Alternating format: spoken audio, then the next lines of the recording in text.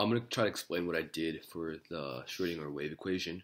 I first wrote down the functional forms, and I wrote down the same equation for regions 1 and 3 because we know they're the same. They're both at infinite potential.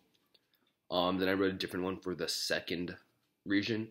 And for the first and third region, we know that uh, potential is infinite, so that means that uh, the we know that psi 1 or 3 has to be equal to 0. And for the second one, we know that the potential is 0, so psi 2 is going to be uh, the sinusoid, which is a sine kx plus b cos kx. Um, we don't know what a and k are yet. So we can set psi 1 of 0 to psi 2 of 0, and psi 2 of a to psi 3 of a, um, because it's a continuous function, and uh, we can get that um, since a sine 0 plus b sine b cos 0 equals 0 for we get that from the second one. Um, psi 2 of A equals to psi 3 of A. We know that B is equal to 0. Uh, since cosine of 0 is equal to 1, B has to be equal to 0. And then we can get that psi is equal to A sine kx, which is equal to 0. And psi of 2 at A would be equal to uh, A sine ka equals 0. And ka has to be equal to an integer multiple of pi for that whole thing to be 0. So we get k is equal to n pi over a. Um, and then we have psi 2 is equal to a sine n pi over a x.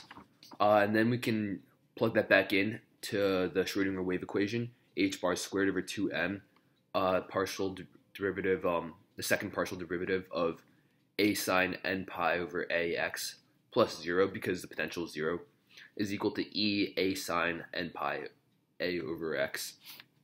And then um we can take the derivative of um get the derivative out of there. So we get h bar squared over 2m n pi over a that whole thing is squared times a negative a sine n pi a over ax and we get that by doing the chain rule. Um and that's all equal to e a sine n pi over ax and when you divide both sides by a sine n pi over a x, you get e is equal to h bar squared n squared pi squared over 2ma squared.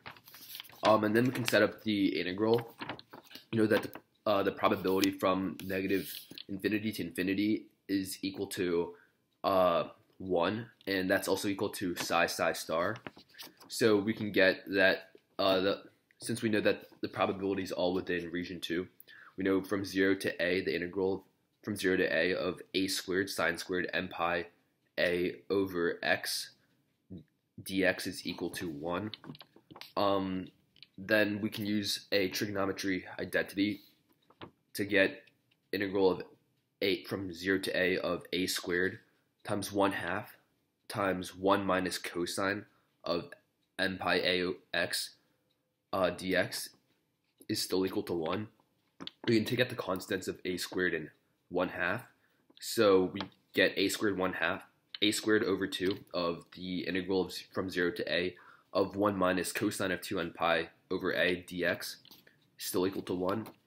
And once we take the integral, we get a squared over 2, a, minus a squared over 2 times 0, uh, minus um, a squared over 2 times 1 half sine 2n pi over a uh, from 0 to a. And then we'll get a squared over 2 times a minus 0 because sine 2n pi over a times a is 0 and sine 2n pi over ax when x is 0 is 0. Uh, so we get a squared over 2a is equal to 1 and we get a squared is equal to 2 over a, a is equal to root 2 over a. So we can plug that back into psi, getting root 2 over a, uh, sine n pi over a x.